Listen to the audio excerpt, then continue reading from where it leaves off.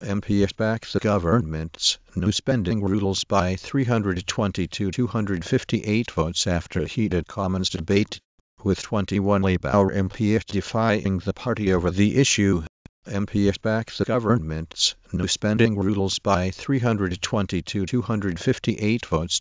MPS approve Osborne's spending rules. George Osborne's budget charter approved by MPS. MPS approve Osborne's budget after clampdowns. After scrapping cuts to disability benefits and abandoning the tampon tax, the government comfortably won the support. The most controversial budget for many years has been backed by MPS, despite a cabinet resignation and major policy U-turns. At the end of four days of bitter debate, George Osborne's budget was approved by MPs, after previously threatening to turn their backs on the Chancellor over planned cuts to disability benefits. Stefan Wermuth, MPS approve Osborne's budget rules political chat MPS approve Osborne's budget after he dropped disability benefit cuts. Chancellor defiantly defended his budget and refused to apologize for the policy U-turn. BBC Newsms approved Chancellor George Osborne's budget. Newsms have approved the budget after Chancellor George Osborne was first to shelve planned cuts to Reddit, the front page of the internet. Limit my search to r forward slash politics. It is safe to say George Osborne has had smoother weeks and probably smoother budgets too. But the Chancellor must have breathed a sigh of relief today as his the Conservative government's new spending rules. Osborne's fiscal charter breezes through as George Osborne's budget surplus charter was approved after. MPs have approved the budget after Chancellor George Osborne was forced to abandon the proposed cuts to disability benefits. MPs have approved the budget after a week that saw one senior minister resign from the cabinet and government U-turn on benefit cuts. The government's new spending rules have been backed by MPs.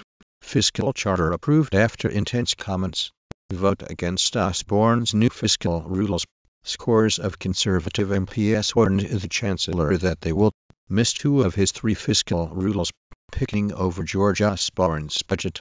Body that approved Osborne's jobs branded toothless by MPs. Cobb told Osborne it would approve his which Osborne revealed in a surprise budget 2014 morning briefing. George Osborne's project budget. MPs rebel against the rules.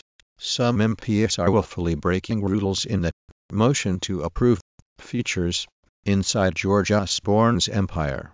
How the Chancellor rules Westminster, his friends prosper, his enemies wither. But how long can it last?